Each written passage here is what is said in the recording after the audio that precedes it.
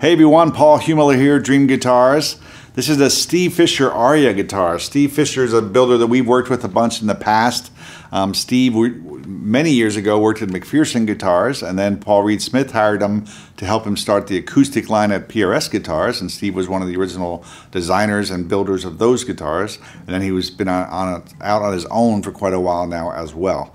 Um, this is a very interesting guitar and a bit different. Um, I think this guitar um, my hunch is it was ordered by someone who wanted a steel string guitar that had some nylon string sensibility.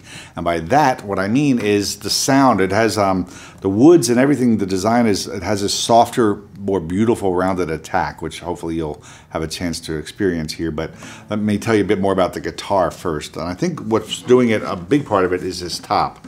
It's a beautiful vintage style sunburst, and I really like the way it's sort of pixelated in the area where the color transitions and but it might look like spruce because of the sunburst, but it's actually Alaskan yellow cedar, um, which is a wood I really like a lot. We've seen a lot of guitars over the years with Alaskan yellow cedar, and I think what it's bringing to this guitar is that real sensitive touch and that round attack, um, which reminds me a little bit of a crossover nylon string guitar.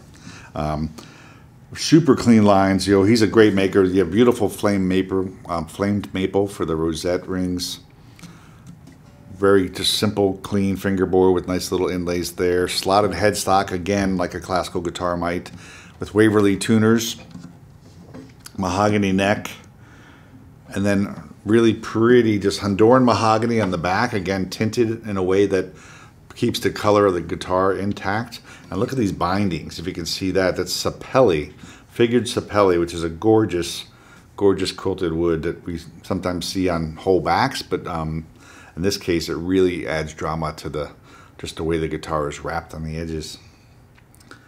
So again, um, this also has a Baggs Lyric pickup system in it, just so you know, so it's already amplified. And as I play the guitar, I'm just going to show you a little bit of what I mean. There's just this sensibility of the notes.